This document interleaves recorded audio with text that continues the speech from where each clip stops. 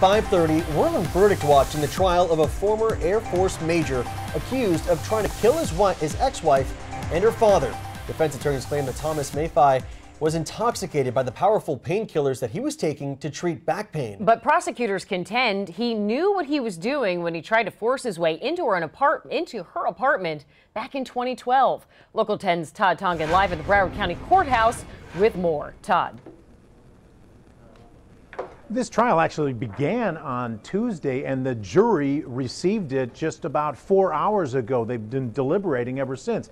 But they have had three questions for the judge one about Maffei's uh, medical condition, one about the prescriptions he was taking, and then about an hour ago, they asked to see the weapon that was used in these attempted murders. And they are now back in the deliberation room, and we are awaiting their verdict.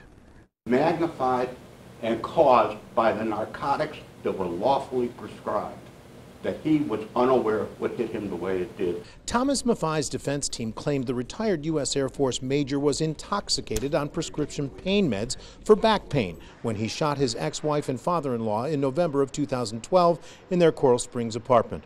He put that firearm in his car and he went to her house with the absolute intention, absolute intention to go in there and to kill her on that day.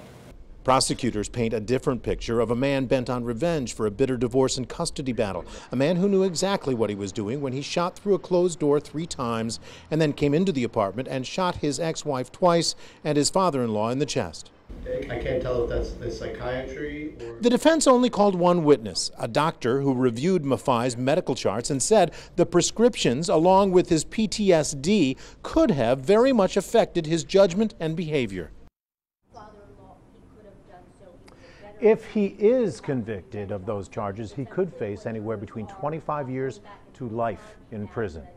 On, on uh, Verdict Watch, Todd Tongen, Local 10 News. We know